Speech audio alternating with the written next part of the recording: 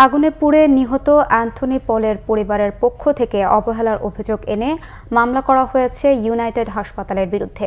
আর নিহত মাহবুব এলাহির ছেলে আনন্দ চৌধুরী এবার অবহেলার অভিযোগ তুললেন সেই দিনের কর্মত চিকিৎসকের বিরুদ্ধে। এসব বিষয়ে ক্যামেরায় কথা বলতে না চাইলেও মোবাইল ফোনে প্রতিষ্ঠানটির কমিউনিকেশন অ্যান্ড বিজনেস ডেভেলপমেন্ট পরিচালক ডাক্তার শেগুফ তানোয়ার জানান, অভিযোগের বিষয়ে আইনি প্রক্রিয়া চলমান।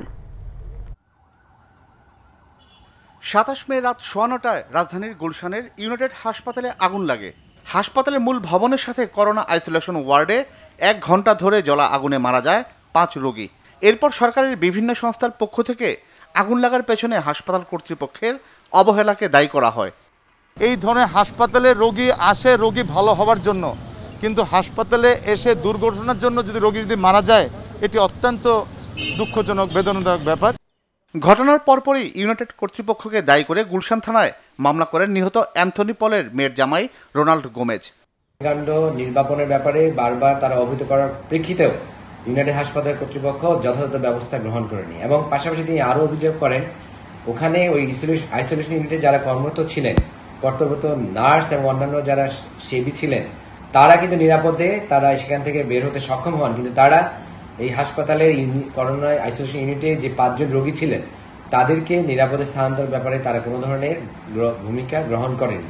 পাশাপাশি তিনি তার শ্বশুরের যে মৃতদেহ, সেটা যখন তারা গ্রহণ করেন, সেই ক্ষেত্রে ওখানে যে বিল যে বিষয়টি, সে বিলের ব্যাপারেও তারা ভোগান্তির কথা উল্লেখ করেন এবং এই বিষয়গুলো উল্লেখ করে তিনি অগ্নিকাণ্ডের শিকার হয়ে মৃত্যুবরণ করেছেন মর্মে অভিযোগ দায়ের করেন।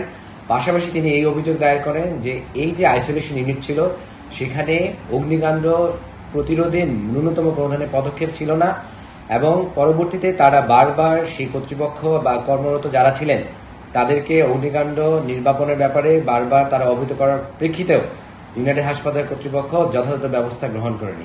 শুধু হাসপাতাল কর্তৃপক্ষ নয় এবার চিকিৎসকের বিরুদ্ধে অভিযোগ তুললেন পুড়ে যাওয়া মাহবুব এলাহের ছেলে আনান চৌধুরী।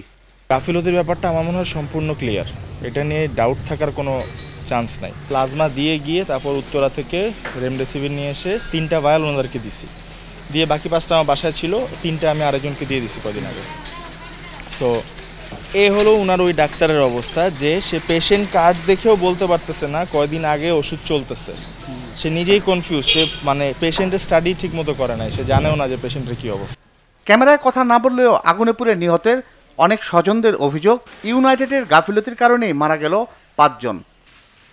জিয়া খান বাংলা ভিশন ঢাকা।